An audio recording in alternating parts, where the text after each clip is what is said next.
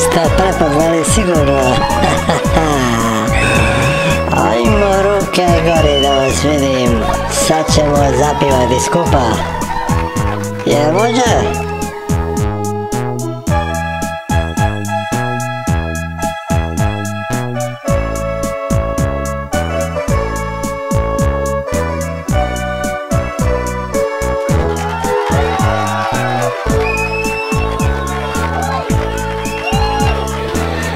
Zove me šef. Na čašu vina. Ja odmah znam. To nešto neć treba Kaže. Od sutra te više ne mogu platit.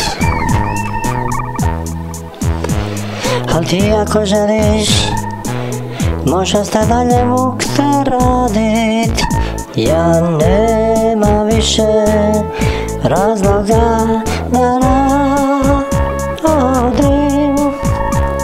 Od sutra ću samo jaja da hladim. Ja nema više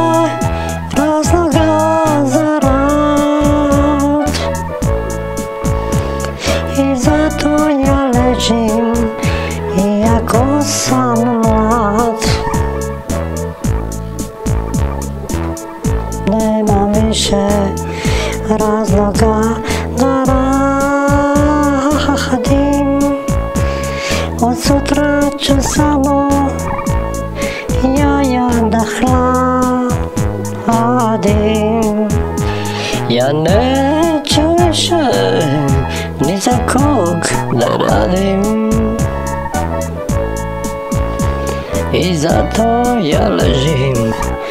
Iako sam mlad Hvala na aplauzu Najtoplije Na svemu vam čestitam ja. Šalala. Ova je pjesma se pretvorila u smeće Ehehe. Da me čuje Mišo.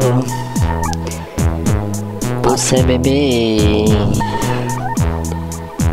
Po sebi bi Mišo Se popišo Ja neću više Više da vas davim Padałaś samo Szklankę bagnia Ahawim Jele czuję się no Dobrze ukiewać Jelbo nie dotrczym Szaj la la.